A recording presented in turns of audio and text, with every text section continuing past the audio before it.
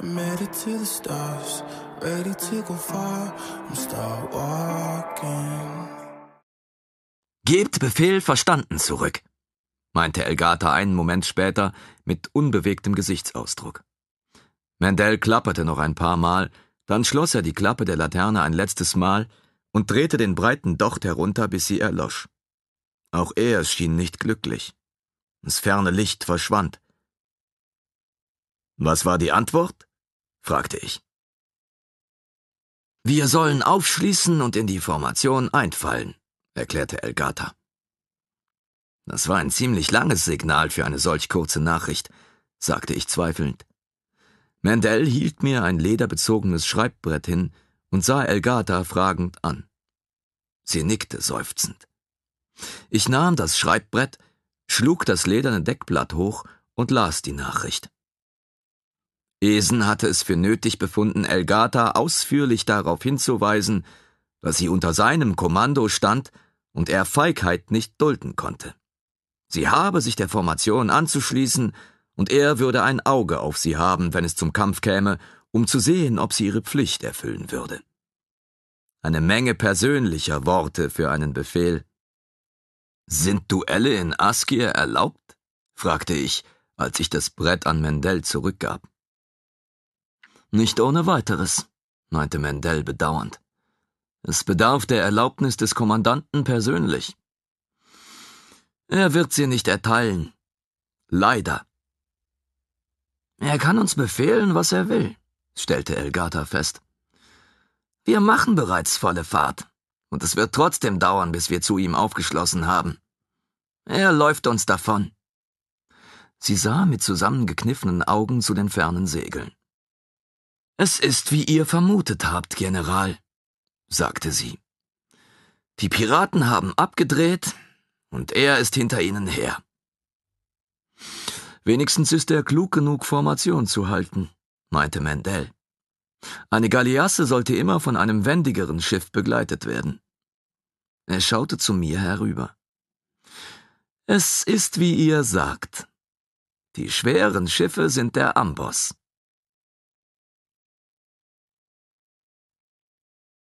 Drachenfeuer. Es war seltsam, untätig dabei zuzusehen, wie sich das Drama abspielte. Man fühlte zwar, wie schnell die Schneevogel die Wellen ritt, die Gischt stieg jedes Mal hoch auf, wenn sie ihren Dorn in die nächste Welle rammte, doch zu den anderen Schiffen der Reichsflotte schlossen wir nur langsam auf. Ich war überrascht, wie schnell die Galeasse war. Der Regen hatte bereits eingesetzt und behinderte noch zusätzlich die Sicht. Sie ist schnell, sagte Amos. Wir befanden uns jetzt auf dem Vorkastell. Mandel und Elgata waren beschäftigt, und auch Amos war mit dem größten Teil seiner Gedanken bei der Balliste, die er prüfend musterte. Alle Schiffe der Reichsstadt sind schnell, aber die Galeasse ist nicht wendig, nicht bei diesem Seegang und unter Segeln. Unter Rudern ist es besser, aber dafür ist die See zu rau. Ruder? Fragte ich erstaunt. Mir waren sie nicht aufgefallen. Sie hat zwei Ruderdecks mit 120 Rudern. Sie waren nur nicht ausgebracht. Deshalb habt ihr sie nicht gesehen. Sie ist eine Mischung aus einer Galeere und einem Segelschiff.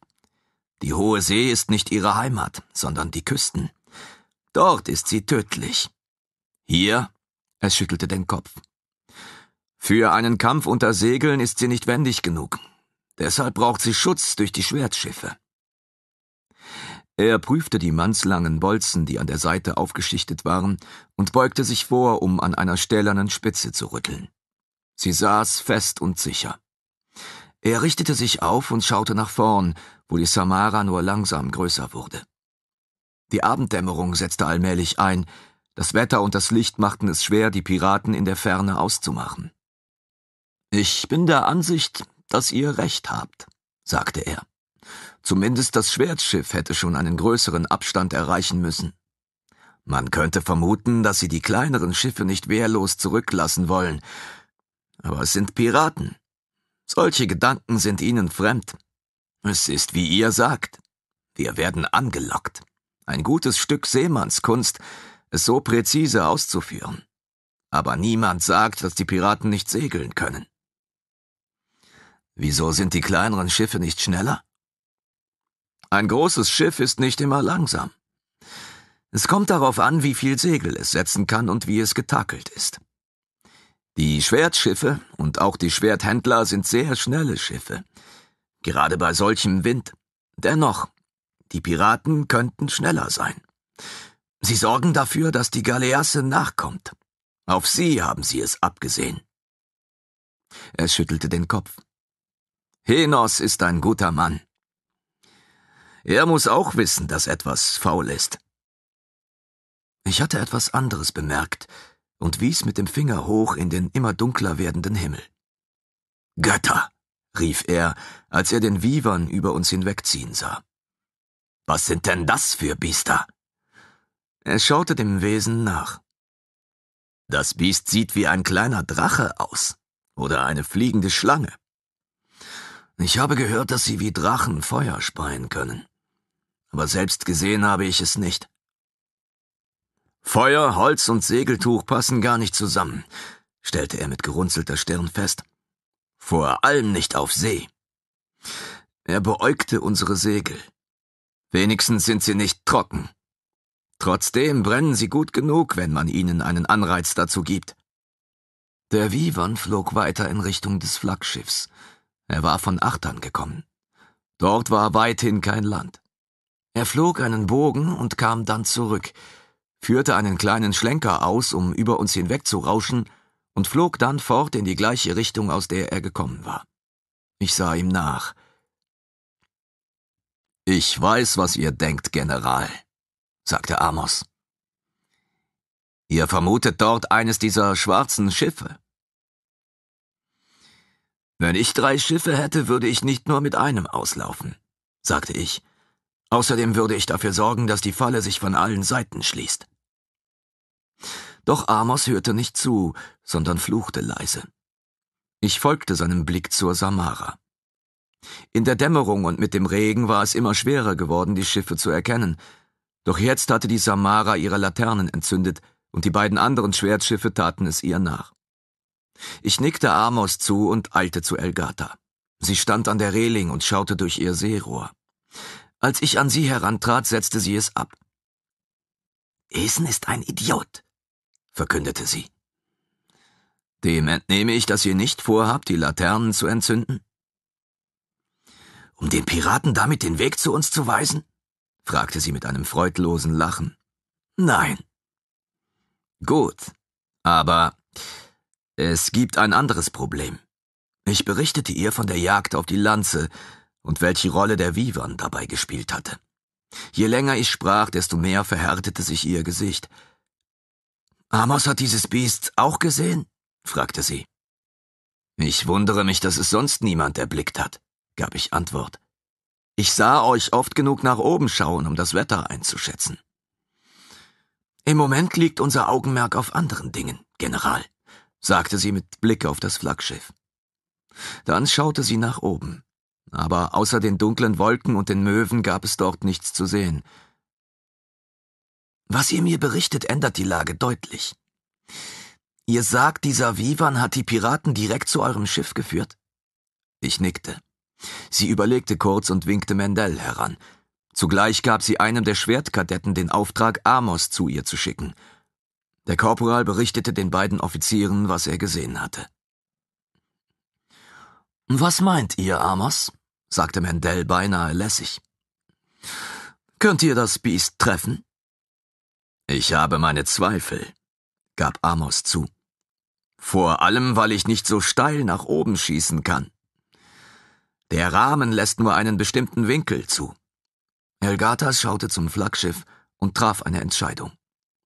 Sobald es gänzlich dunkel ist, ändern wir den Kurs. Ihr Blick lag nun auf mir. Seid ihr sicher, dass sich das feindliche Schiff hinter uns befindet und uns folgt? Der Vivan flog so gerade wie ein Pfeil, antwortete ich. Gut, meinte sie.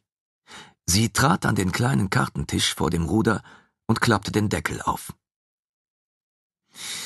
Wir müssten uns hier befinden, sagte sie und legte einen Finger auf einen Punkt der Karte. Sie sah fragend zu Mendel, der blickte hinüber zu den fernen Kegeln der Feuerinseln und nickte. Nach unserer letzten Positionsbestimmung, dem Winkel zur Insel, unserer Geschwindigkeit, ja. Sie wandte sich an Amos. Also müsste sich dieses Schiff hier befinden? Der runzelte die Stirn. Vier Strich weiter östlich, würde ich sagen. Sie bewegte ihren Finger leicht. Ich sah auf die Karte hinab und versuchte zu verstehen, was die anderen dort sahen. Für mich war es ein Stück Papier mit Linien darauf. Zu viele Linien. Ich verstand nicht, was sie bedeuteten. Sie warf einen Blick auf den Magnetstein, der in einem Messinggehäuse am Ruder schwamm, nahm ein dreieckiges Lineal und legte es an der Karte an. Mandel, sagte sie, wir brechen nach Backbord aus. Zwölf Grad Süd-Südost.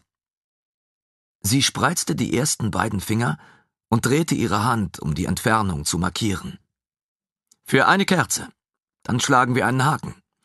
Ich will hinter dieses Schiff gelangen. Wenn wir es binden können, geben wir vielleicht Esen eine kleine Chance, der Falle zu entkommen. Mandel nickte knapp. Er wird uns dennoch einen Vorwurf daraus machen, dass wir seinem Befehl nicht gefolgt sind. Dazu muss er erst mal überleben, sagte sie hart. Wir versuchen es doch nur, um ihm eine Chance zu geben. Wenn er das nicht einsieht, ist er wirklich dumm. Wenn er uns anklagen will, müssen auch wir überleben, gab Amos zu bedenken. Er kratzte sich am Hinterkopf. Es ist schon etwas kühn, uns allein mit diesem Schiff anzulegen. Sie lächelte. Habt ihr wirklich gehofft, ihr würdet euren Ruhestand noch erleben? Amos lachte. Den Gedanken habe ich schon aufgegeben, als ich das erste Mal an Bord ging. Ihr seid schon immer klug gewesen, Amos. Sie grinste und wurde sofort wieder ernst. Korporal? Bereitet das Drachenfeuer vor. Devon soll euch helfen, es anzumischen. Er hat eine ruhige Hand. Ich will dieses schwarze Schiff brennen sehen. Drachenfeuer anmischen? Bei diesem Seegang? fragte Amos zweifelnd. Ihr habt recht, entgegnete Elgata mit einem strahlenden Lächeln. Ihr solltet darauf achten, dass nicht wir es sind, die brennen. Eis, Sir, rief Amos und salutierte, bevor er davon eilte.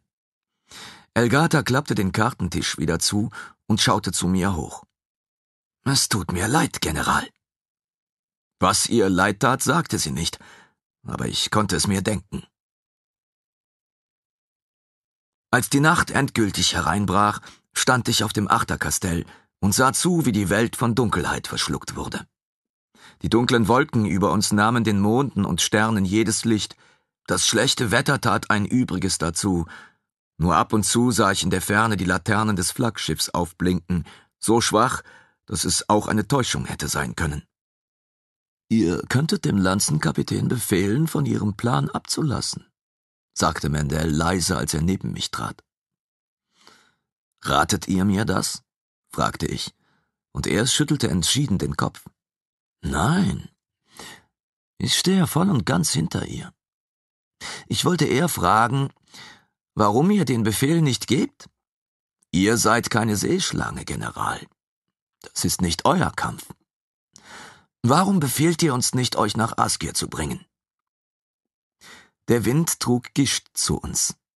Ich wischte mir das Salzwasser aus dem Gesicht, ohne es richtig zu bemerken. Es war schon erstaunlich, wie schnell man sich an manches gewöhnen konnte. Ich hatte schon vergessen, wie es sich anfühlte, trocken zu sein. Überraschend war nur, dass mein Magen keine Probleme mit der rauen See hatte. Sie schien ihn eher zu beruhigen. Diese drei schwarzen Schiffe haben einen Grund, hier zu sein, sagte ich. Sie werden uns schaden, wenn sie nicht aufgehalten werden. Ich zuckte mit den Schultern. Das ist schon alles. Elgatas Plan ist kühn, meinte er. Die Aussichten auf ein erfolgreiches Gelingen sind eher gering. Wenn man nichts versucht, scheitert man immer, meinte ich. Was genau ist der Plan? Und was hat es mit diesem Drachenfeuer auf sich?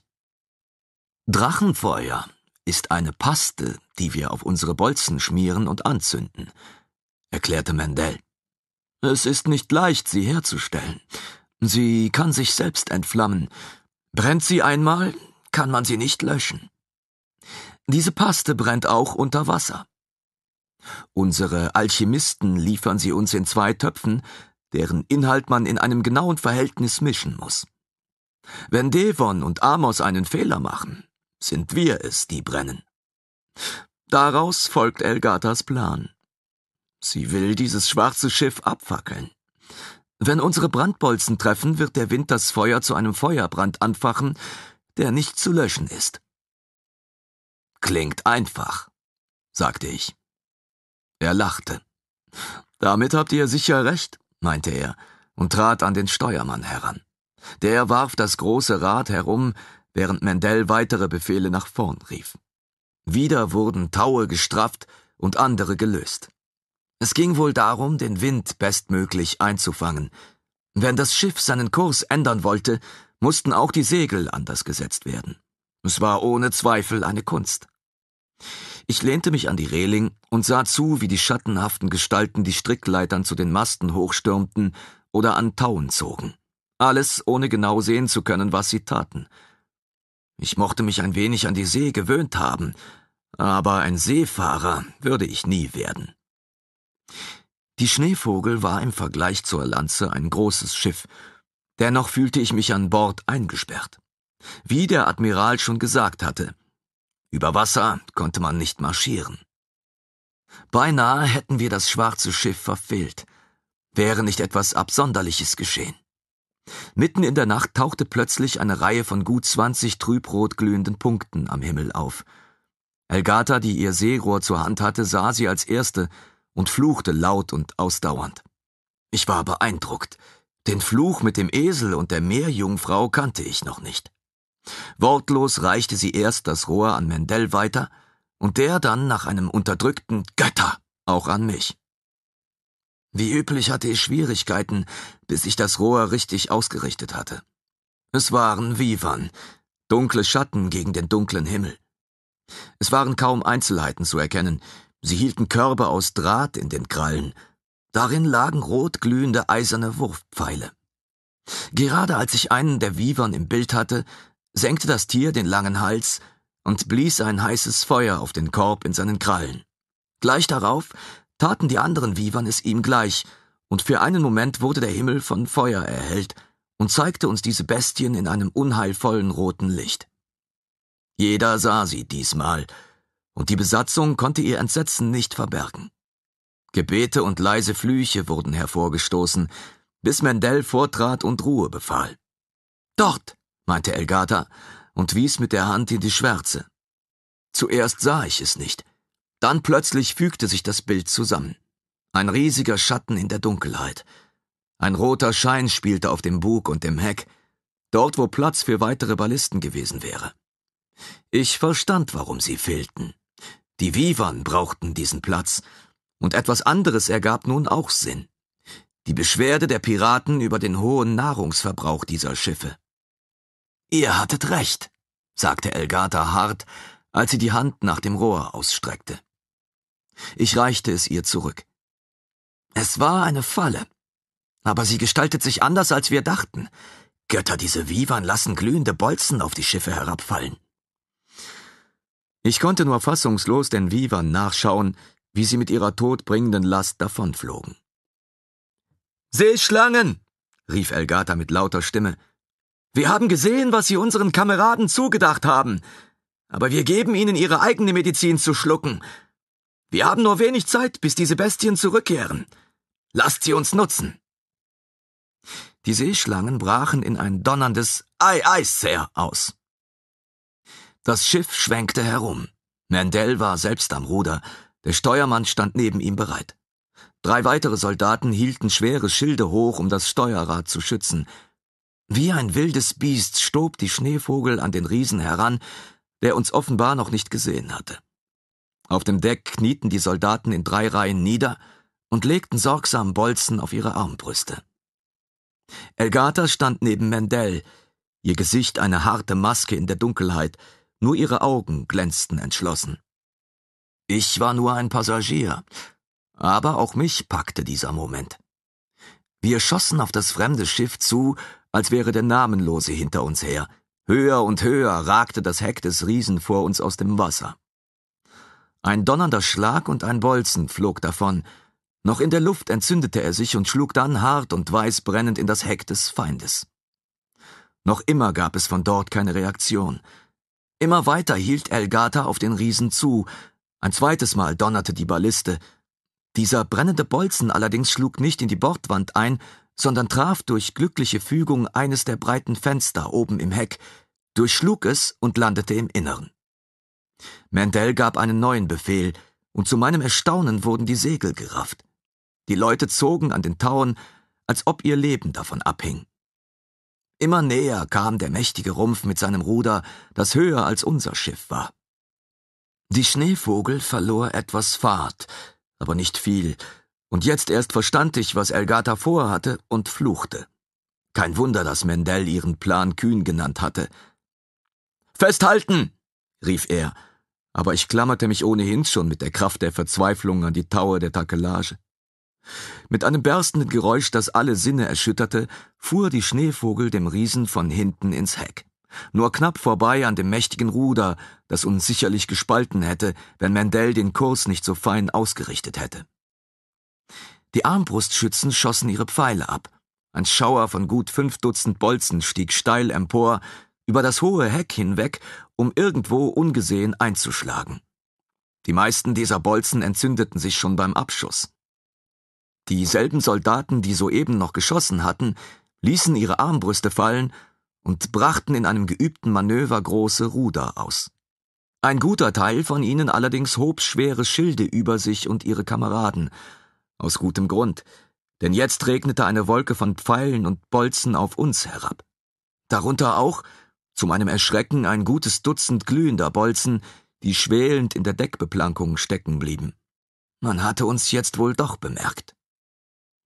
Einer der Schwertkadetten rannte herbei und schüttete einen Eimer über drei der glühenden Bolzen aus. Ein weiterer Bolzen und ein Speer traf ihn und nagelten ihn zuckend an Deck fest. Ich schlug einen Armbrustbolzen mit der Hand zur Seite, so dass er harmlos an mir vorbeisurrte und duckte mich hinter die Reling. Kein Grund, dem Gegner noch ein Ziel zu bieten. Vorn donnerte die Balliste. Aus kürzester Entfernung schoss Amos einen Bolzen in ein Gelenk des mächtigen Ruders. Er schlug erst ein und entzündete sich dann in diesem weißen Feuer. Die Schneevogel schwankte und knirschte. Die Ruder bogen sich fast durch, als die Mannschaft sich gegen sie stemmte. Eine Welle hob unser Schiff, es knirschte erneut, und mit einem Ruck waren wir frei. Das Ruder! rief Elgata zu Mendel und wies auf das Steuerruder des feindlichen Schiffs, das sich nur noch wenig bewegte. Der Aufprall der Schneevogel hatte es zur Seite gedrückt, und Amos Bolzen hatte es dort fixiert. Mit gebleckten Zähnen warf Mendel unser eigenes Ruder nach Steuerbord herum, während die Soldaten an den langen Rudern ihr letztes gaben, um mit purer Entschlossenheit und Willen die Schneevogel zurückzusetzen. Das riesige Schiff zog nach Backbord davon. Über mir knallten die Segel, als sie herabfielen und sich mit Wind füllten. Von vorn stieg ein weiterer brennender Bolzen auf. Diesmal hatte Amos einen Wellenkamm abgewartet und schoss, als sich der Bug der Schneevogel anhob. Das feurige Geschoss flog hoch über die Bordwand des Feindes und traf durch Können oder glückliche Fügung einen der vier mächtigen Masten des schwarzen Schiffs. Was auch immer dieses Drachenfeuer war. Es brannte weiß, nicht rot, und es musste von ungeheurer Hitze sein. Denn kaum einen Atemzug später standen dort oben am Mast des Feindes schon die schweren Taue in Flammen. Die Schneevogel bockte wie ein Pferd, als der Wind die Segel ergriff. Hastig wurden die Ruder eingebracht, während das Schiff sich stark auf die Seite legte. Neben mir verschwand ein Teil der Bordwand mit lautem Bersten, eine tiefe Scharte im Deck entstand, wo eben noch drei Seeleute ihr Ruder einholen wollten. Mehr als Schatten hatte ich nicht gesehen, als die schweren Bolzen uns trafen. Roderick, rief Mendel, der mit dem Ruder kämpfte, hierher! Ich ließ den sicheren Halt los und schlitterte über das steile Deck zu ihm. Unter meinen Füßen knirschte der blutige Sand, dort lag der Steuermann und tastete ungläubig an sich herum. Sein linkes Bein war ihm mit einem Teil des Beckens abgerissen worden. Mit der anderen Hand hielt er sich an einer Stange am Fuß der Steuersäule fest. Das Schiff hob sich. Sein Blick traf den meinigen. Er verzog das Gesicht zu einem schiefen Lächeln, ließ die Stange los und rutschte durch die Bresche in der Bordwand ins Meer. Ich warf meine ungeschickt eingesetzte Kraft gemeinsam mit Mendel gegen das Ruder. Ich hätte nicht gedacht, dass es so schwer zu halten wäre. Weiter und weiter schwang die Schneevogel herum. Vorn donnerte unsere Balliste und ein weißer Brand stieg auf, um nur knapp eine der Ballistenplattformen des Feindes zu verfehlen. Dann schoss die Schneevogel weg von dem verwundeten Riesen. Sein verklemmtes Ruder zwang ihn nach Backbord. Wir wichen nach Steuerbord aus. Schnell vergrößerte sich die Entfernung, und als die schweren Ballisten des Feindes ein letztes Mal schossen, lagen sie deutlich zu kurz. Auch unsere Balliste schwieg. Obwohl sie drehbar gelagert war, reichte der Winkel nicht. Einen Moment lang war es still. Nur das Brausen der Wellen und das Knarren des Schiffs waren zu hören. Dann stöhnte jemand. Ein anderer schrie, weitere fluchten. Die Brandbolzen! rief Elgata und zeigte auf die schwelenden Brände.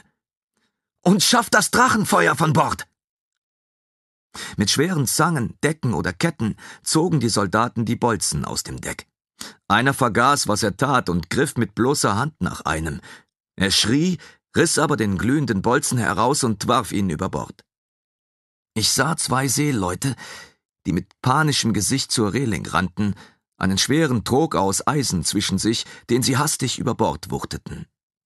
Als er auf dem Wasser aufschlug, entflammte er in gleißendem Weiß, ein Licht, das nur umso heller zu brennen schien, als der Trog in der Tiefe versank. Ich sah dem sinkenden Licht entgeistert nach. Ein mächtiger dunkler Schatten zog in der Tiefe vorbei. Vielleicht war es aber nur der Wellengang, der das Licht falsch brach. Es versank tiefer in der Dunkelheit, dann war es weg. Das Deck war gespickt mit Bolzen, Pfeilen und Speeren. Dazwischen lagen Körper herum einige still, die meisten bewegten sich, fluchten, schrien oder wimmerten vor Schmerzen. In manchen Schilden steckten so viele Bolzen und Pfeile, dass man sie kaum mehr tragen konnte. Es mussten Hunderte von Pfeilen gewesen sein, die auf uns herabgeregnet waren. Das Erschreckendste daran war, dass ich mich kaum daran erinnern konnte, wie es sich abgespielt hatte. Elgata stand still und aufrecht. Sie hielt sich den rechten Arm und schaute zu dem Feindschiff hinüber, wo der Feuerschein immer stärker wurde. Das Feuer hatte auch die Segel erreicht. Zu ihren Füßen kniete ein Seeschlangensoldat und hielt noch immer einen schweren Schild zu ihrem Schutz hoch. Ich fragte mich, warum er ihn nicht ablegte, und sah dann erst, dass ihn ein Speer durch den Schild hindurch ans Deck genagelt hatte. Ihr könnt das Ruder jetzt loslassen, keuchte Mendel neben mir. Ich sah auf meine Hände, die sich immer noch um die Speichen krampften, atmete tief durch und ließ los. Wir müssen hier weg! rief Elgata dem Schwertleutnant zu. Mandel nickte und hielt weiter seinen Kurs, der uns von dem brennenden Riesen wegführte. Wie lange der Angriff gedauert hatte, wusste ich nicht. Aber früher oder später würden die Vivern zurückkehren. Als der Kampf begonnen hatte, war unser Feind kaum zu sehen gewesen. Jetzt brannte er lichterloh. Plötzlich schien es, als hätten die Götter das Feuer angefacht. Eine Stichflamme stieg auf, weit über die hohen Masten hinweg. Dann hob und drehte sich der Bug, als das Schiff langsam kenterte. Ein letztes Flackern, dann herrschte dort wieder Dunkelheit. Auch bei uns wurden die Flammen gelöscht, während Seeleute ihre getroffenen Kameraden unter Deck brachten. Amos stämmige Gestalt schälte sich aus der Dunkelheit. Er schwankte, und gleich zwei abgebrochene Bolzen ragten aus seinem Brustpanzer, einer hoch in der Schulter, einer in der Seite. Devon soll sich um euch kümmern, meinte Elgata als erstes zu ihm. Amos winkte ab. Solange die Bolzen noch stecken, blutet es kaum. Devon hat anderes zu tun. Warum geht ihr nicht zu ihm? Sie lachte leise. Aus dem gleichen Grund. Wie hoch ist der Blutzoll? Neun tot. Vier werden noch sterben. Bei acht oder neun ist es ungewiss und von der Gnade der Götter abhängig. Gut zwei Dutzend sind verletzt. Einige schwer. Er kratzte sich am Kopf, sah verwundert auf seine blutige Hand herab und zuckte dann mit den Schultern. Da waren eine Menge Pfeile in der Luft, Lanzenkapitän, Sir, meinte er. Ein blutiges Rinnsal lief ihm aus dem Mundwinkel. Er wischte es achtlos zur Seite. Sie hatten auch Speerschleudern, bemerkte sie und schaute auf den toten Soldaten herab, der noch immer vor ihr kniete. Das, meinte Amos grimmig, habe ich auch bemerkt. Sie schloss erschöpft die Augen. Wie steht es um das Schiff? Hat der Sporn gehalten? Ja, meinte Amos, hustete und stützte sich schwer auf das Geländer auf. Der Sporn hielt. Es gibt ein paar Lecks, aber nichts, das uns gefährdet. Er schaute in die Dunkelheit, dorthin, wo der gekenterte Feind treiben musste. Ich dachte schon, ihr fahrt mitten durch ihn hindurch, meinte er. Er wankte, doch der Seegang war nicht der Grund. Devon soll sich um euch kümmern, Amos, sagte Elgata. Jetzt! Das ist ein Befehl. Hört ihr? Ei, Sir. Lanzenkapitän, Sir, stieß Amos hervor und schüttelte benommen den Kopf. Sobald ich Luft bekomme, Sir, sagte er und wischte sich das schaumige Blut vom Mund. Ich trat an ihn heran und nahm ihn auf meine Arme. Ich wusste ja, wo sich der Arzt finden ließ. Ich bin kein Kind, protestierte er flüsternd. Ich weiß. Ihr steht nur im Weg herum. Das will ich ändern. Na, wenn das so ist, sagte er und schloss die Augen. Die Kabine des Arztes enthielt fünf Kojen. Als er mir den Schädel zurechtgeschoben hatte, waren sie leer gewesen. Jetzt lagen Verwundete in ihnen, auf dem Boden, zwischen den Kojen und auch draußen im Gang. Als ich mich mit Amos auf den Armen durch die niedrige Tür zwängte, empfing mich die Hölle des Namenlosen. Auf dem lederbezogenen Bett lag eine weibliche Seeschlange. Die gleichen Lederbänder, die zuvor mich gehalten hatten, fesselten nun auch sie. Sie schrie und weinte und schüttelte verzweifelt den Kopf. Vier kräftige Kameraden hielten sie fest. Einer von ihnen weinte, aber er drückte sie unbarmherzig nieder, als Devon seine Säge über dem zerstörten linken Knie ansetzte. Der Fälscher sah zu mir hinüber, dann auf Amos. Er muss warten, rief er mir zu und zog die Säge durch. Die Frau schrie und zuckte in der mitleidlosen Umarmung ihrer Kameraden. Das tanzende Licht der Laternen, die Schreie, der Geruch von Blut, die abgetrennte Hand, die zu meinen Füßen über den blutigen Boden schlitterte, das alles war zu viel für mich. Ich suchte mir hastig eine Stelle an der Wand und rutschte mit Amos in den Armen an ihr herab, bis ich saß. Amos öffnete unvermittelt die Augen. Ihr habt wirklich keinen Magen für die Seefahrt, bemerkte er und starb. Ich saß dort und hielt ihn eine Weile. Dann meinte ich staunend seine Seele zu sehen, wie sie sich aus seinem Körper löste, aufrichtete und sich traurig umschaute. Ich bildete mir noch ein, dass er mich mit einem schiefen Lächeln bedachte, dann blinzelte ich und er war fort. Schwer erhob ich mich mit ihm. Ich hab gleich Zeit für ihn, rief der Fälscher, während er mit einem glühenden Eisen hantierte. Die Frau wimmerte nur noch leise. Ich vermied es, genauer hinzusehen, schüttelte nur den Kopf und trug Amos zur Seite, dort, wo schon fünf seiner Kameraden still an der Wand lagen. Ich schloss ihm die Augen und ging wieder hoch an Deck.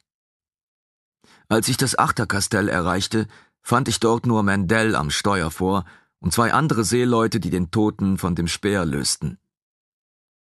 Was ist mit dem Lanzenkapitän? fragte ich Sie war vernünftig genug, ihre Kabine aufzusuchen. Sie wird gerade verbunden, teilte er mir mit. Er klang erschöpft. Wie geht es ihr? Ein Bolzen hat ihr die Seite aufgerissen. Schmerzhaft, sicherlich, aber nichts, das ihr Leben bedroht. Was ist mit Amos? Er ist tot. Mendel stieß einen Seufzer aus. Hoffentlich war es das wert, sagte er leise. Gleich drei Blitze zuckten in der Ferne herab und erhellten die See. Wenige Liedschläge später rollte der Donner über uns hinweg. Ein weiterer Blitz zuckte über das Firmament, während ein Windstoß die Masten ächzen ließ. Gegen das gleißende Licht des Donners meinte ich in der Ferne die Umrisse einer Schar Vivon zu sehen. Doch dann öffneten sich die Schleusen des Himmels. Es war, als ob jemand Eimer ausschütten würde. Seit Wochen war das der erste richtige Regen für mich. Ich hob dankbar mein Gesicht dem Himmel entgegen. Bei diesem Wetter würden uns die Vivon schwerlich finden können.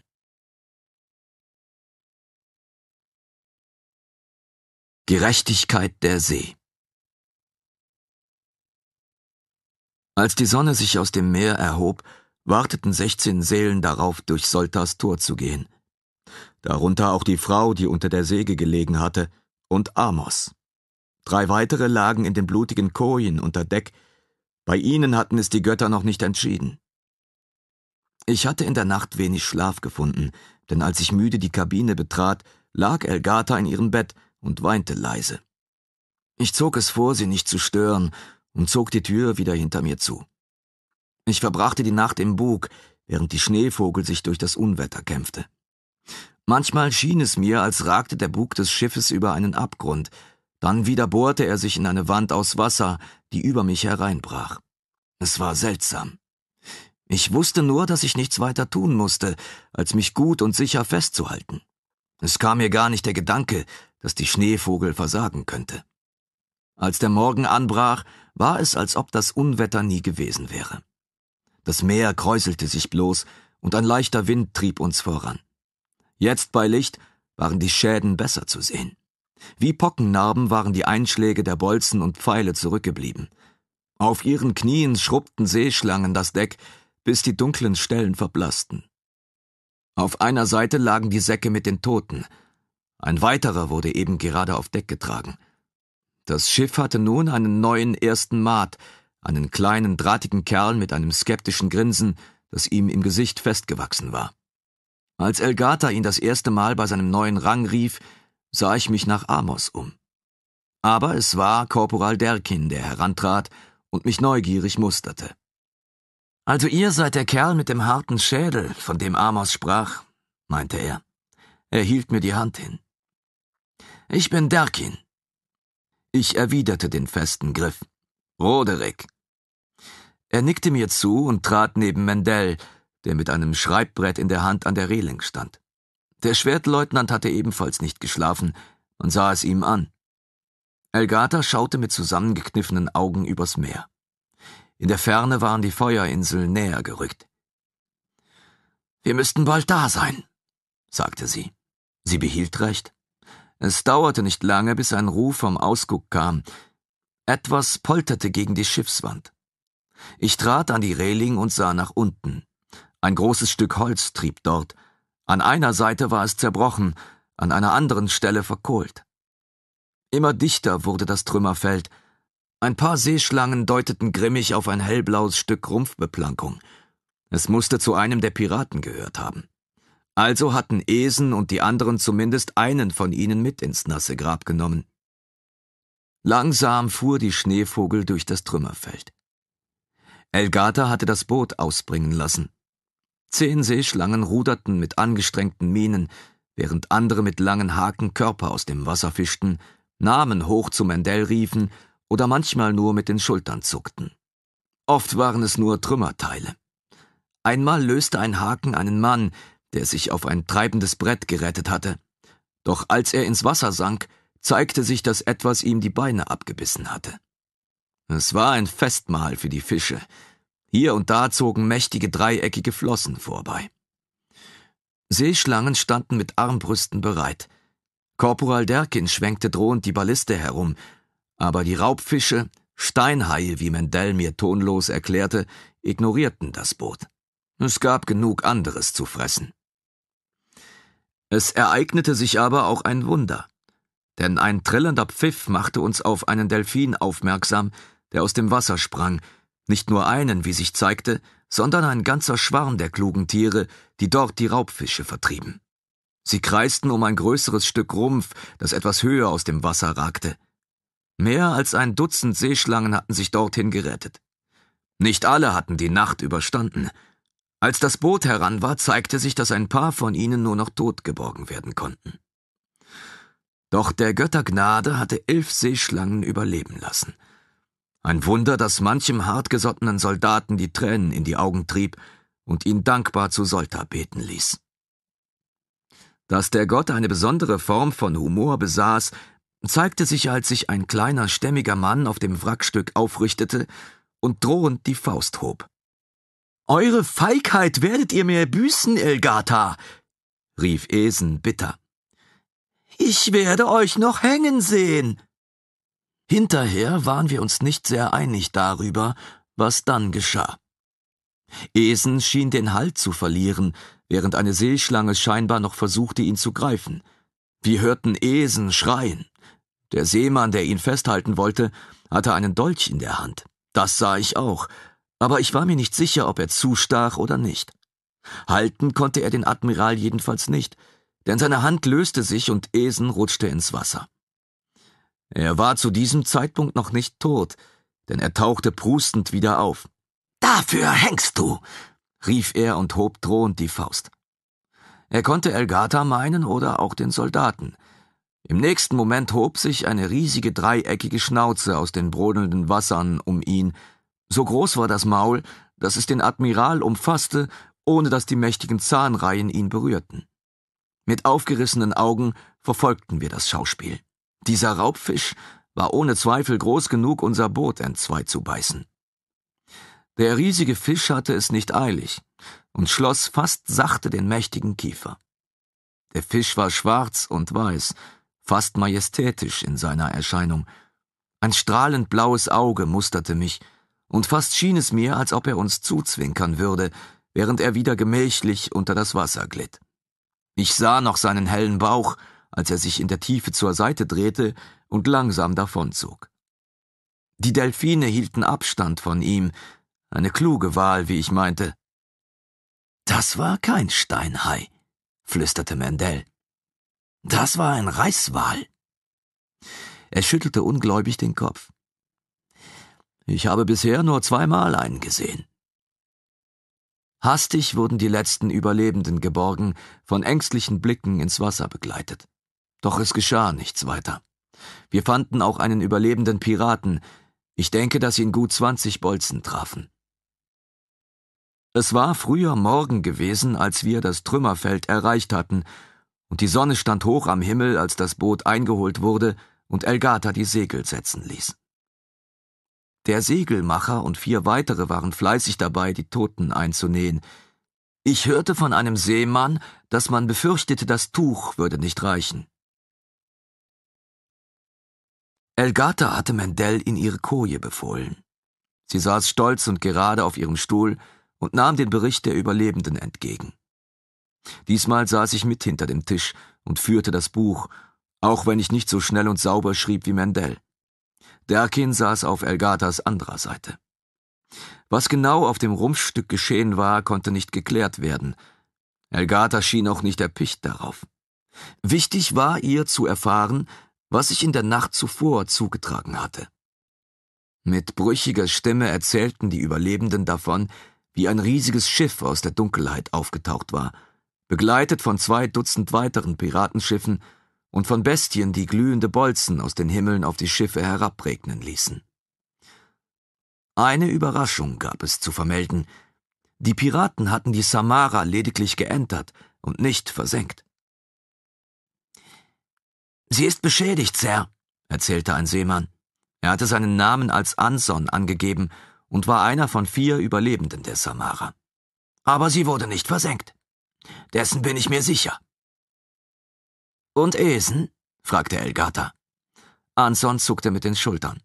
Er sprang über Bord, als die Piraten enterten. Elgata sah mich an und legte eine Hand auf meinen Arm. Schreibt das nicht. Er ging während des Kampfs über Bord. Sie sah den Seemann an. Das wolltet ihr sagen, nicht wahr? Er zögerte. Esen war ein Schwein, meinte er trotzig. Er geriet in Panik, und Stabskapitän Henos musste ihn niederschlagen. Ich sah später selbst, wie der Admiral sich feige verdrückte. Einer der Piraten schoss auf ihn, und er duckte sich hinter einen Kameraden, um dem Bolzen zu entgehen. Elgata bedachte ihn mit einem strengen Blick. Es gab in dieser Nacht eine Menge Heldentaten, sagte sie leise. Wollt ihr, dass von denen berichtet wird oder von der Feigheit eines einzelnen Mannes? Ihr wisst, wie es ist. Die schlechte Kunde reitet schneller. Joren hat es auch gesehen, meinte Anson nach einer kleinen Pause. Ich werde ihn daran erinnern, wie der Admiral stolperte und über Bord fiel. Er schaute Elgata offen an. Aber ein Held war er nicht. Das werde ich vor Boron beschwören. Ein Held war er gewiss nicht, entgegnete Elgata langsam. Ich glaube auch nicht, dass man das von ihm behaupten wird. Der Mann nickte und schaute dann mich an. Ihr seid der General, nicht wahr? Ich nickte überrascht. Ist es wahr, dass ihr vor einer Falle gewarnt habt? Joren ist der Signalmat der Samara. Er sagt, wir wären gewarnt worden. Elgata sprang für mich ein, ja, er hat uns gewarnt. Esen meinte, ihr hättet uns feige im Stich gelassen, sagte Anson. Die Schneevogel sieht nicht so aus. Außerdem habe ich die Toten bemerkt. Darf ich fragen? Wir haben eines der schwarzen Schiffe angegriffen und versenkt, meinte Elgata müde. Einen dieser Riesen? fragte der Mann ungläubig. Ja, sagte Elgata. Der Preis dafür war hoch. Das glaube ich gern. Anson lächelte ohne Humor. Ein Bulle hat uns also den Arsch gerettet. Darf ich fragen, welche Legion? Die zweite, hörte ich mich antworten. Er blinzelte. Die Unbesiegbare? Er schüttelte verwundert den Kopf. Sachen gibt es. Nun, wenn er noch herausfindet, wie man über Wasser marschiert, werde ich selbst zum Bullen. Anson, meinte Elgata müde, wir sind hier noch nicht fertig. Ei, Sir, meinte der Seemann, und ich schrieb nieder, wie Admiral Esen über Bord gefallen war. Elgata hatte sich dazu entschieden, südöstlich der Feuerinseln zu kreuzen. Es entsprach Esens letzten Befehlen. Aber das war nicht der Grund. Sie ging davon aus, dass die Piraten wie aufgescheuchte Hornissen vor der Insel kreuzten, und sie wollte den Vivern entgehen. Kurz bevor die Sonne unterging, sahen wir ein fernes Segel. Müde bereitete sich Elgata auf den nächsten Kampf vor. Doch es war das kaiserliche Schiff Lanteras Glaube, ein Schwesterschiff der Schneevogel. Es wurde von Schwertkapitän Jennick kommandiert, der einen niedrigeren Rang als Elgata innehatte und ihr somit unterstellt war. Sie lud ihn zum Abendessen an Bord, und er erstattete Bericht, während wir aßen. Diesmal schenkte uns ein anderer Schwertkadett ein. Marja war auch unter den Toten. Sie hatte einen brennenden Bolzen gelöscht und war dafür gestorben. Es war wenig erfreulich, was Jennick zu erzählen hatte. Zwei weitere Schiffe der Reichsflotte waren verloren. Wieder waren es Vivern gewesen, die sie gefunden und die Piraten zu ihnen geführt hatten. Wir sind nur entkommen, weil ein Unwetter aufzog. Es scheint die Viecher zu stören, wenn es regnet. Er sah mit funkelnden Augen auf. Wir haben eins von ihnen erwischt, als es zu nahe kam. Aber es gibt Dutzende dieser Bestien. Dann ließ er wieder den Kopf hängen. Wie lauten eure Befehle, Lanzenkapitän? fragte er. Elgata seufzte und rieb sich die Schläfen. Kehrt auf die Glaube zurück. Ihr werdet morgen früh eure Befehle erhalten, Kapitän. Doch zuvor werden wir unsere Toten bestatten. Vier Schiffe verloren, die Samara in der Hand der Piraten, stellte Elgata etwas später niedergeschlagen fest. Das wird Yilma nicht gefallen. Sie rieb sich ihre Seite und verzog das Gesicht. Wir befanden uns in der Kabine. Mendel und Derkin waren auch dabei. Vor uns auf dem Tisch stand ein guter Tropfen Rotwein. Zwei Schiffe sind zu wenig, um unseren Auftrag auszuführen, meinte Mendel. Diese Vivern machen den Unterschied. Er nippte an seinem Wein. Unter den gegebenen Umständen können wir froh sein, dass wir eines der schwarzen Schiffe versenken konnten. Noch einmal wird uns das nicht gelingen. Hätte Amos dem Schiff nicht das Ruder blockiert, seufzte Derkin. Helgatas Blick ging in eine unbestimmte Ferne. Wir können unseren Auftrag nicht mehr ausführen, meinte sie. Wir werden nach der Zeremonie Kurs auf Askir nehmen. Sie schaute zu mir und lächelte ein wenig. Ihr kommt also doch früher an euer Ziel. Sie hob ihren Becher. Auf die Kameraden, sagte sie, und wir tranken. Diesmal hielt nicht ich den Gottesdienst, es war Elgata, die aus den Schriften vorlas. Ihre Stimme war belegt, sie machte oft Pausen, um sich zu sammeln. Die Mannschaft der Schneevogel war in Reih und Glied auf Deck angetreten, jeder trug seine beste Uniform. Unter dem ganzen Lindgrün stach meine Uniform heraus. Ein Schwertkadett hatte sie mir am Morgen gebracht. Sie bestand aus grauen Hosen mit einer goldenen Doppellinie an den Seiten und einer weißen doppelt geknöpften Jacke mit hohem Kragen. Ein weißer Schwertgurt mit einem Paradedolch gehörte noch dazu.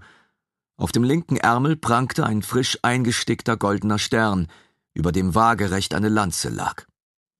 Zu der Aufmachung gehörten noch weiße Handschuhe und ein weißes Kragentuch, das sorgfältig geknotet werden musste, damit es den Kragen richtig ausfüllte.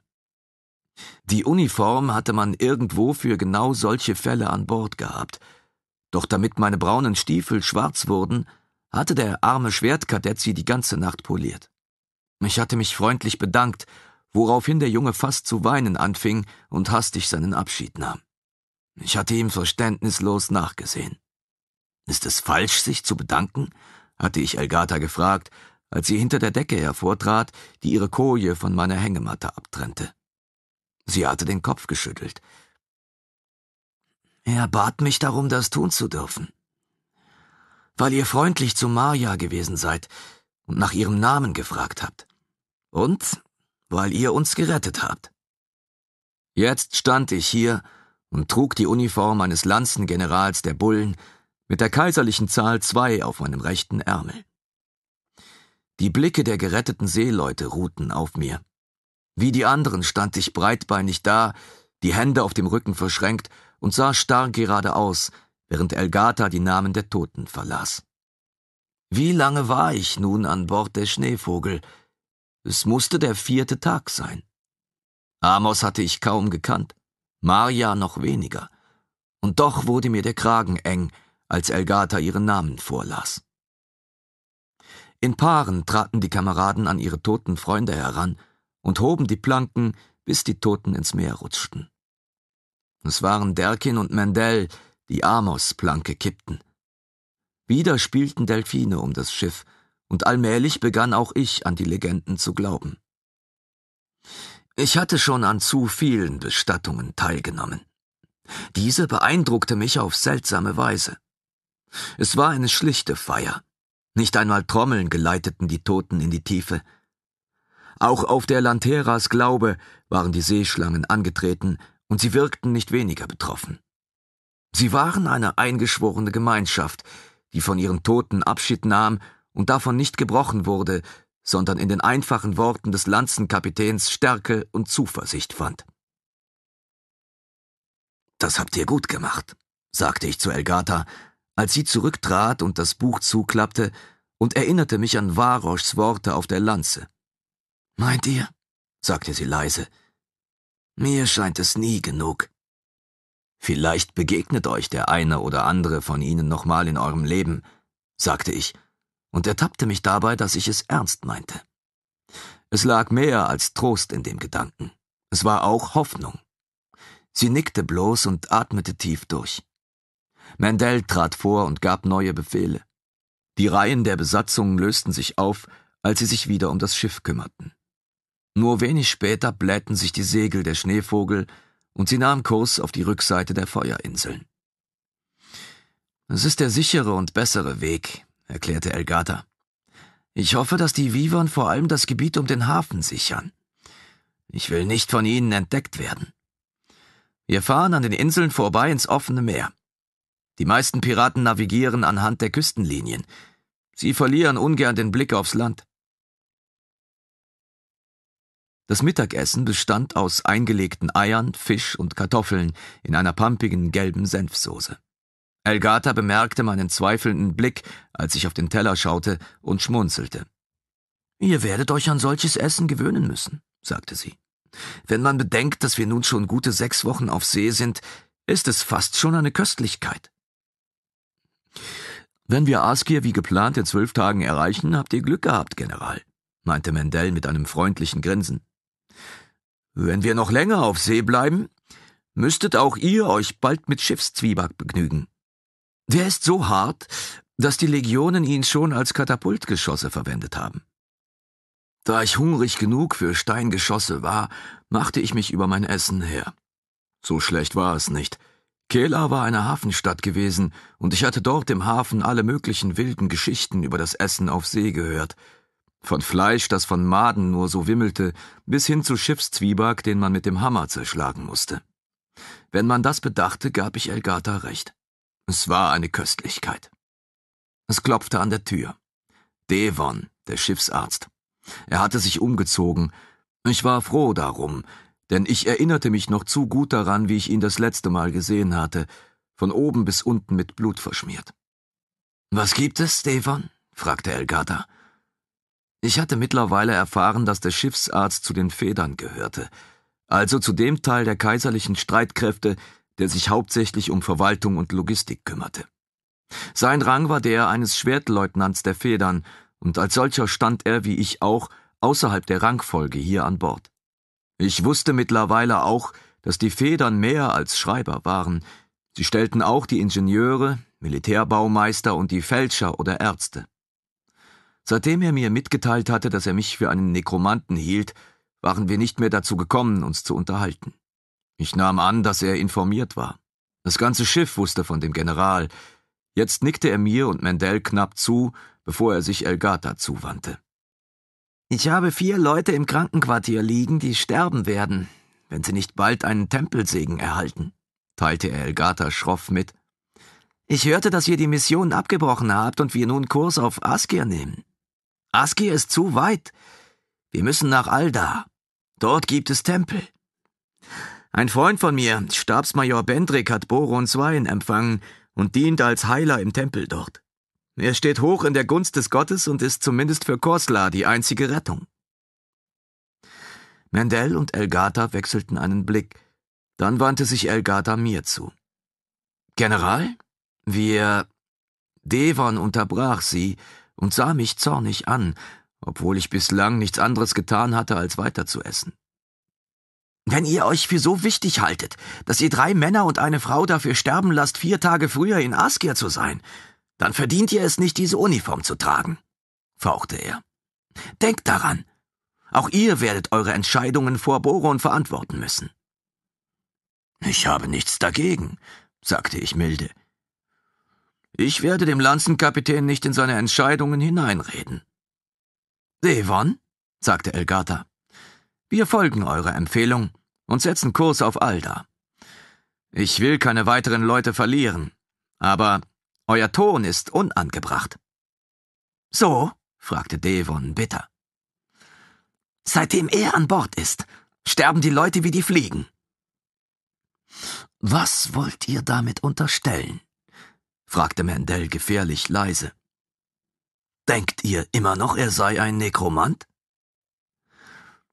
Ich weiß nicht, was ich denken soll, meinte Devon. Er trägt einen Ring, den er anders nicht tragen könnte. Wenn er echt ist? Er ist echt, sagte Elgata hart. Mein Ring hat seinen erkannt. Was werft ihr ihm vor? Devon holte tief Luft und schüttelte den Kopf. Ich bin zu alt, um abergläubisch zu sein. Und doch ist es. Sir Roderick ist mir unheimlich. Er sah mir direkt in die Augen. Ich weiß nicht, was es mit euch auf sich hat, aber kommt meinen Verwundeten nicht zu nahe. Warum? fragte ich ruhig. Sie sterben mir dann zu schnell, antwortete er und deutete eine Verbeugung vor uns an. Entschuldigt mich. Ich habe noch mit Solta zu kämpfen.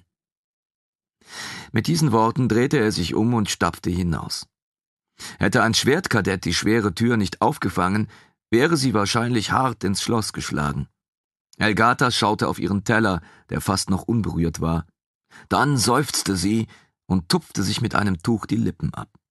Sie erhob sich, nickte mir zu und begab sich hoch an Deck. Kurz darauf hörte ich durch die Planken über uns, wie sie Befehle gab. Mittlerweile war ich lange genug an Bord, um zu spüren, wie die Schneevogel ihre Bewegungen vor Wind und Seegang veränderte. Es war nur ein leichtes Knarzen, und die Lampe pendelte etwas weiter nach Steuerbord als zuvor. Mendel sah mich aufmerksam an. Ihr wirkt betroffen, sagte er leise. Warum? Selbst Devon kann nicht ernstlich glauben, dass ihr ein Nekromant seid. Doch in einem hat er recht, entgegnete ich und schob meinen Teller von mir weg. Ich hatte genug. Wenn ich in der Nähe bin, stirbt es sich leicht. Ich erhob mich. Ich denke, ich brauche etwas frische Luft. Ich spürte Mandels Blicke in meinem Rücken, als ich die Tür hinter mir schloss. Ich ging zum Bug und rauchte meine Pfeife. Einer der Seeleute hatte mir etwas von seinem Tabakvorrat verkauft. Der Rauch war bitter und ließ die Weichheit des Bessereiner Apfeltabaks vermissen, den ich so lieb gewonnen hatte. Aber es beruhigte mich, dort am Bug zu stehen und zuzuschauen, wie der Wind den Rauch verwehte.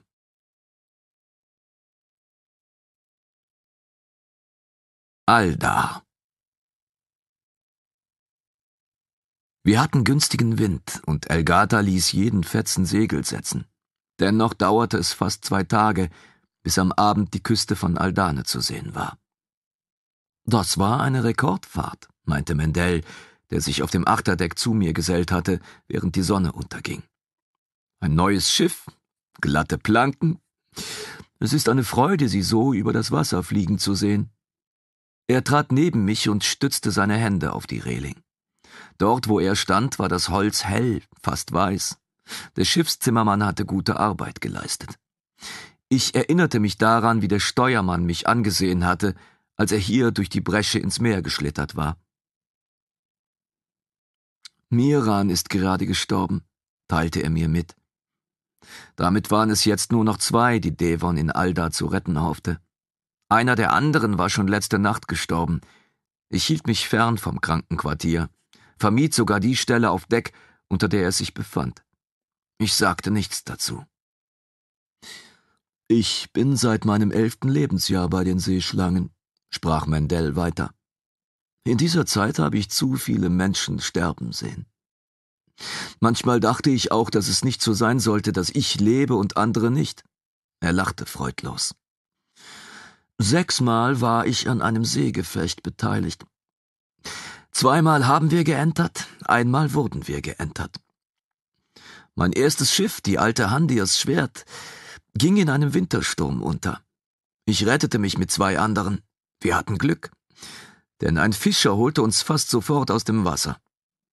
Einer meiner Kameraden war unbemerkt gestorben, der andere verlor zwei Finger und alle seine Zehen. Sie waren ihm erfroren. Die einzige Verletzung, die ich mir in all den Jahren zuzog, bestand darin, dass ich mir den Finger brach, als ich als Schwertkadett betrunken versuchte, auf das Schiff zurückzukehren und der Bordwache vor die Füße fiel. Er schaute nach oben, dorthin, wo die Nacht bereits aufzog und die fernen Gestirne zu funkeln begannen. Ist Solta ungerecht, weil er mich leben lässt? Oder erhört er nur die Gebete meines Eheweibs und meiner Tochter, die jeden Tag in seinem Tempel für meine Rückkehr beten? Einer seiner Priester meinte zu mir, dass der Gott nimmt, was er nehmen muss, entgegnete ich nachdenklich. Warum der Gott überhaupt etwas muss, hat mir der Priester jedoch nicht erklärt. Auch Götter werden Regeln haben, meinte Mendel.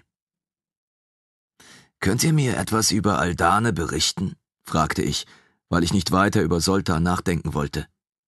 Er hatte lange genug mein Denken beherrscht, und ich wollte mich nicht wieder auf den gleichen alten Pfad begeben. Ich war frei von ihm, egal was Devon dachte. Aldane. Mandel seufzte leise. Es ist ein Ort, den unser Kapitän nur ungern ansteuert.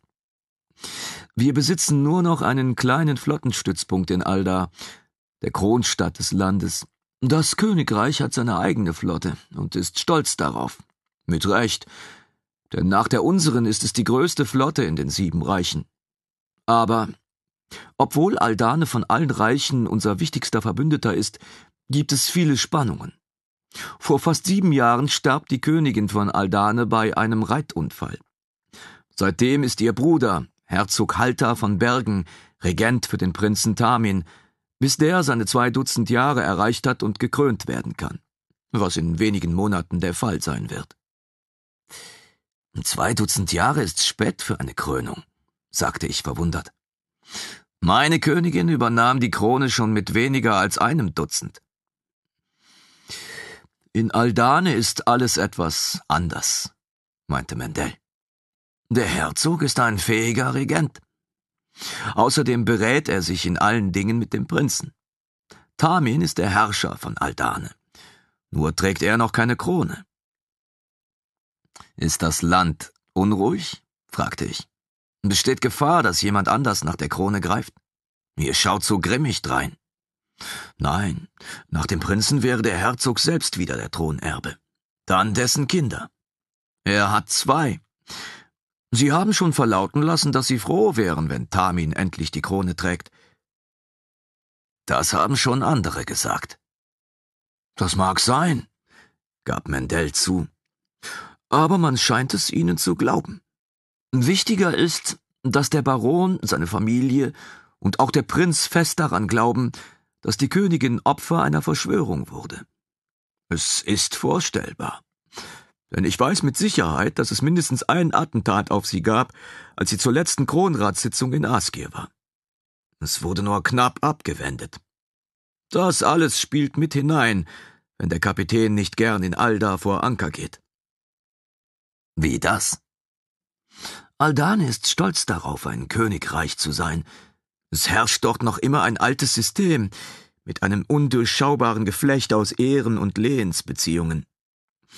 Ehre ist das höchste Gut eines Menschen. Ohne Ehre ist er nichts. Ein Gefallen erzeugt einen anderen.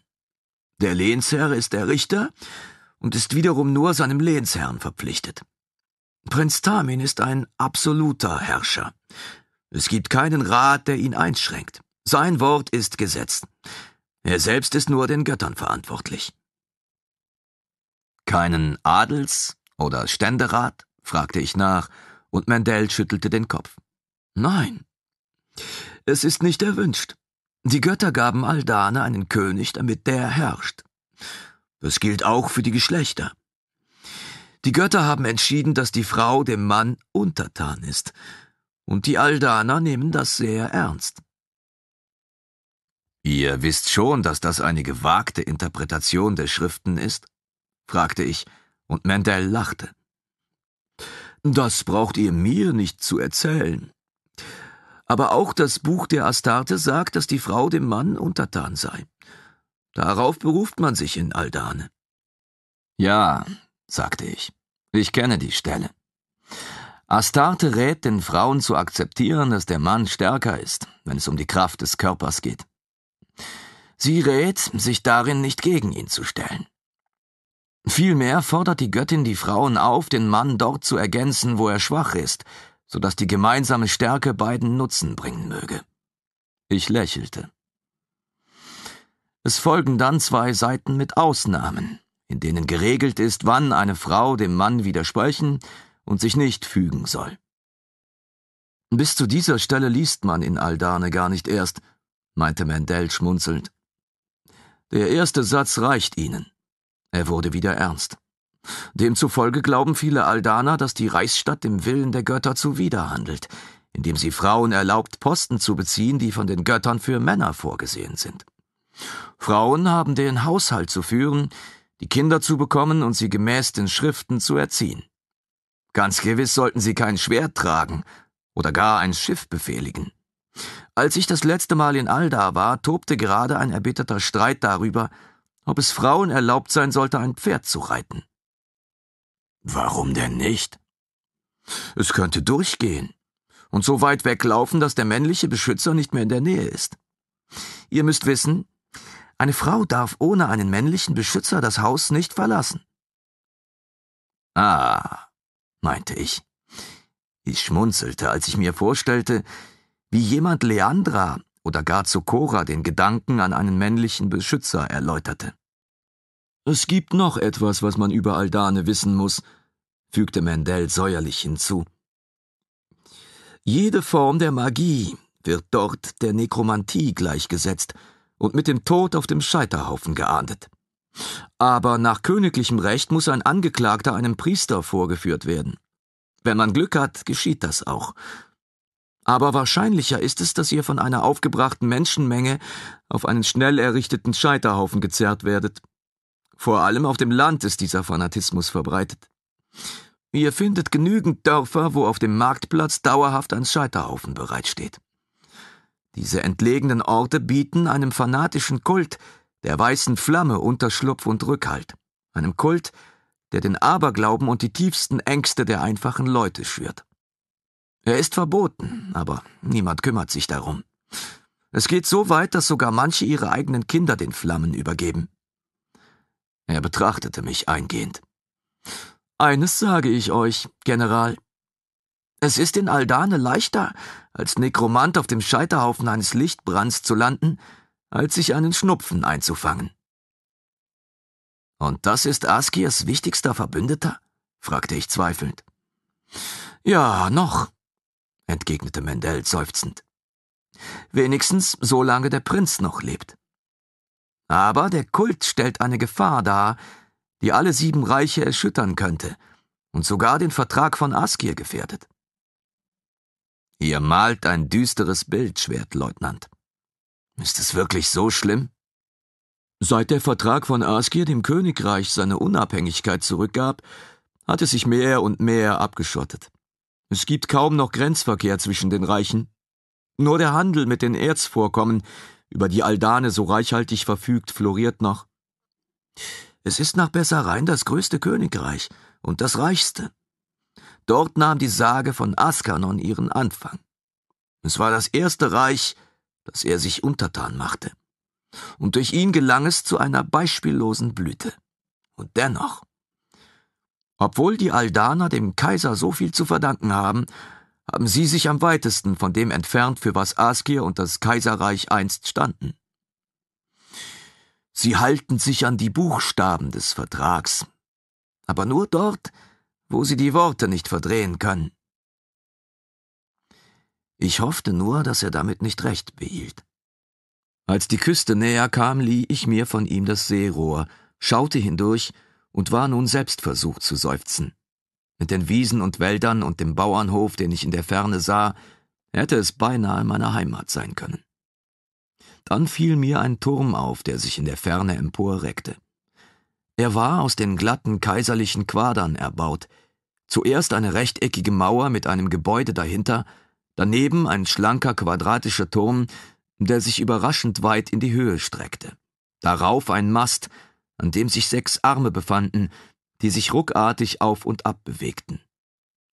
Hinter dieser seltsamen Konstruktion wuchs ein Stab aus Metall in die Höhe, der an seiner Spitze das glänzende Blatt einer Speerspitze trug. Der Turm selbst war zu klein, um mehr als einem Treppenhaus Platz zu bieten, besaß aber im obersten Stockwerk einen umlaufenden Balkon, auf dem ich große Signallaternen erkannte, ähnlich der, die sich auch auf der Schneevogel befand. Ich erinnerte mich an etwas, das Mendel mir über die Signale berichtet hatte, schwenkte das Seerohr herum und schaute weiter die Küste entlang. Und dort in der Ferne, fast nicht mehr zu sehen, stand ein weiterer Turm dieser Art. Der Turm, in dessen geborstener Zisterne ich das Wasser gefunden hatte, war in gleicher Art gebaut gewesen, und jetzt wusste ich auch, welche Funktion er einst besessen hatte. Ist das einer dieser Signaltürme, von denen ihr gesprochen habt? fragte ich Mendel, als ich ihm das Seerohr zurückgab. Klug erkannt, sagte er. Es gab einst Hunderte von ihnen. Es heißt, es wäre zur Zeit des Alten Reichs möglich gewesen, eine Nachricht von einer Grenze zur anderen zu schicken und in wenigen Kerzen Antwort zu erhalten. Es gab solche Verbindungen zu jeder größeren Stadt und Garnison, und nicht nur das Militär nutzte sie. Aber nach dem Vertrag von Askir wurden die Federn von diesen Türmen abgezogen. Die Reiche sollten sie mit ihren eigenen Leuten bemannen. Am Anfang geschah das auch, aber unvollständig. Oder die Leute übermittelten die Botschaften falsch. Mit der Zeit hörte man auf, sie zu nutzen, und die Türme zerfielen. Jetzt gibt es nur noch wenige Signalstrecken. Diese hier ist noch in Benutzung, weil die Reichsflotte die Küstenlinie von Aldane und den Warlanden schützt. Die Türme erlauben uns, mit der Admiralität in Verbindung zu bleiben. Sobald wir näher heran sind, werde ich eine Meldung abgeben. Und zwei Kerzen später weiß Admiral Yilma in Askir, was geschehen ist. Wenn wir in Alda einlaufen, wird man uns bereits erwarten. Von einer Seite des Reichs zur anderen. Wie viele Meilen waren das in der größten Strecke? fragte ich neugierig. Mandel zuckte mit den Schultern. 1500 Meilen vielleicht? Und eine Antwort in zwei bis drei Kerzen? Das bedeutet, eine Nachricht konnte mehr als 500 Meilen in einer Kerze zurücklegen, stellte ich fassungslos fest. Manchmal dauerte es in der Kronstadt länger, einen Boten von der Kronburg runter zum Fischmarkt zu schicken. Das glaube ich gern, meinte der Leutnant schmunzelnd. In Askir selbst werden die Semaphoren noch immer ausgiebig genutzt. Auch von den Händlern oder von einfachen Bürgern. Meine Schwester hat einen Bauern im Ostzirkel geheiratet, und ab und zu schickt sie mir Nachricht, oder er ihr. Es kostet ein Kupferstück pro Satz. Er sah sehnsüchtig zum Land hin. Das Erste, was ich tun werde, wenn wir festes Land betreten, ist, Nachrichten an meine Frau, Tochter und an meine Schwester zu schicken. Er erlaubte sich ein feines Lächeln. Aus irgendwelchen Gründen sind sie immer in Sorge um mich, wenn wir auslaufen. Schickt ihnen doch gleich von hier eine Botschaft, schlug ich vor und zeigte auf das Signalgerät. Doch er schüttelte den Kopf. Das wäre gegen die Regeln. Es dürfen nur dienstliche Nachrichten übertragen werden. Einen Moment lang schien mir diese Regel dumm. Dann sah ich ein, dass es gegenüber den anderen Besatzungsmitgliedern ungerecht wäre. Wollte man allen erlauben, Nachrichten zu senden, würde das Ganze ewig dauern und vielleicht die Signalstrecke blockieren.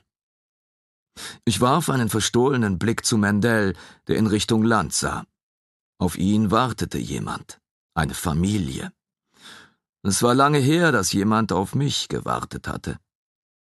Es dauerte nicht lange, bis die Signallaterne entzündet war und zu klappern anfing. Wir sahen zu, wie in der Ferne eine Laterne am Turm aufflackerte, und ich verstand allmählich, wie vielfältig die Errungenschaften des Alten Reichs gewesen waren. Umso unverständlicher erschien mir, wie viel in den Jahrhunderten davon verloren gegangen war. Warum nur hatte Askanon den Thron aufgegeben und war verschwunden?